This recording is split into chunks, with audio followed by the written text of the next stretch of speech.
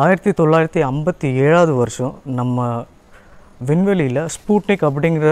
ஒரு ராக்கெட் அனுப்பியிருந்தோம் அது பூமியில் எப்போ விழுந்ததுன்னு பார்த்தீங்கன்னா நெக்ஸ்ட் இயர் அதாவது நைன்டீன் ஃபிஃப்டி எயிட்டில் ஜனவரி ஃபோர்த் வந்து பூமியில் விழுந்து நொறுங்கிடுச்சு